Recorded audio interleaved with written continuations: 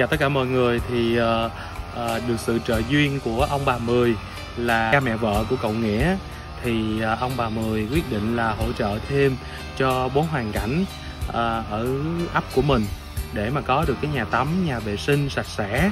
Thì thông qua chính quyền là anh Nghĩa trưởng ấp thì Trung cũng đã biết được các cái hoàn cảnh tiếp theo và để biết được những hoàn cảnh này như thế nào và nhìn tổng thể ra sao á cũng như là à, những cái tâm tình mà những cái hộ dân này muốn gửi đến ông bà Mười ở Mỹ thì mời mọi người theo chân Trung để mình cùng đi khảo sát và thăm các gia đình nha và anh nghĩa trưởng ốc cũng đã lên rước mình đi lên nhà. À, đầu tiên đó là nhà của ông bà Mười Lân. Thì ông bà cũng đã hàng U70 rồi. Hai người con lớn cũng có tư riêng ở xa. Và người con út á, thì đang học nghề và đi làm gì đó ở Sài Gòn. Cũng không có phụ họ gì được nhiều. Bà thì đi bán rau cải ở chợ vất vả lắm. Ông ở nhà thì chăm vài con bò. Nên anh nghĩa cũng ờ, cố gắng để chở mình lên thăm hộ gia đình này thì ông bà cũng lớn tuổi mà chưa có nhà tắm nhà vệ sinh đi cầu cá thì cũng đã té một vài lần rất là nguy hiểm.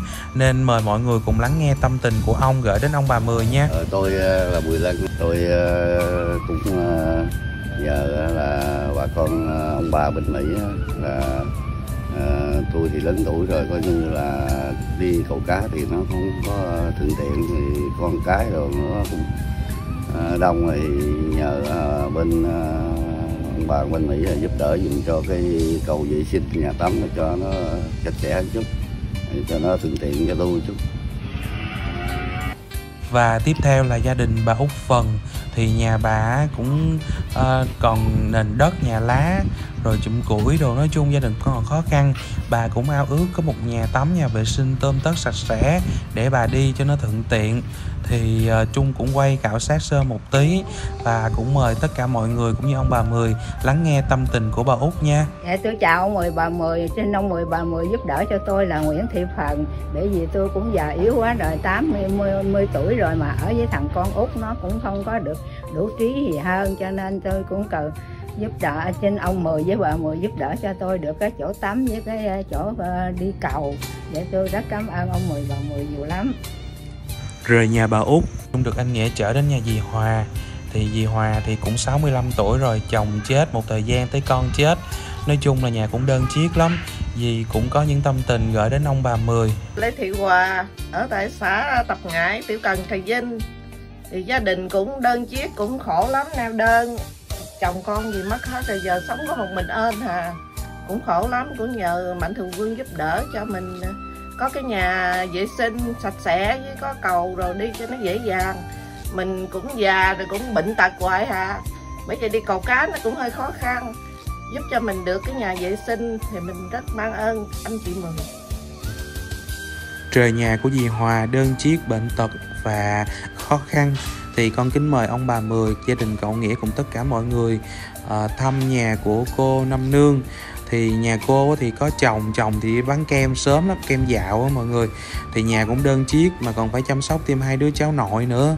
À, cũng nhỏ nên khá là vất vả. Thì à, con cũng kính mời ông bà Mười cùng gia đình cậu Mợ Nghĩa lắng nghe tâm tình của à, cô Năm Nương. À, dạ. tôi à, tên Võ Thị Nương 65 tuổi nhà thì à, có hai ông bà nuôi hai đứa cháu nội. Bị gia đình cha mẹ nó có ba đứa con mà cũng hơi khó khăn, hoàn cảnh khó khăn. Rồi nó ở với ông bà, nó đi học, rồi nuôi hai đứa cháu đó. Ờ, ruộng đất thì không có, thì à, nói chung là gia cảnh thì cũng hơi khó khăn. Dạ ông nội thì đi bán kem dạo, còn bà nội thì giờ là bệnh à, thái quá cuộc sống rồi, ở nhà cũng chỉ làm công việc lặt vặt ở nhà thôi, không có làm gì ra tiền hết À, tôi ao ước được cái nhà tắm tại lúc trước thì à, cũng như là đi à, cầu cá đây nè thì nó là bị trợt té. Rồi giờ tôi cũng ao ước vậy mà nếu mà à, cô chú mười cho tôi được cái nhà tắm nhà vệ sinh thì tôi cũng mừng lắm. Tôi cũng rất cảm ơn. Sau khi cùng chính quyền ấp khảo sát thành công bốn hộ gia đình thì Trung cũng đã chia sẻ thông tin đến à, gia đình cậu Mận Nghĩa và ông bà Mười. Thì ông bà Mười vui vẻ gieo duyên và đồng ý hỗ trợ bốn nhà tắm kết hợp vệ sinh à, cho bốn hoàn cảnh này.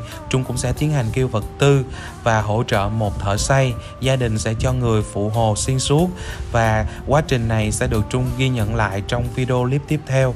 Kính mời ông bà Mười gia đình cậu Mợ Nghĩa cùng tất cả mọi người đón xem trong video tiếp theo. Xin cảm ơn.